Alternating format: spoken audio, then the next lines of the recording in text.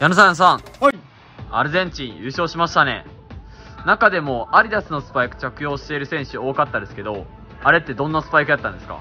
はい。えーアルゼンチン代表の選手が多く着用していたのが、こちらアディダスの X スピードポータルになります。はい、こちらですよ。で、主に着用していたのが、メッシ、ディマリア、アルバレス、デパウルになります。で、メッシは特別な限定カラーを履いてました。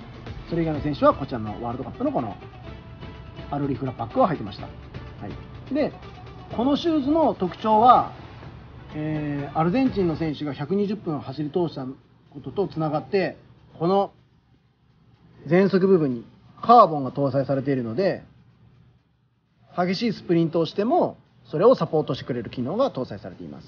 はい、ただ、こちら、HG タイプには、はい、カーボンは非搭載ですよ。なのでね、ご注意くださいね。はい、ですので、こちらの X スピードポータル、ぜひ皆さん試着して選んでみてください。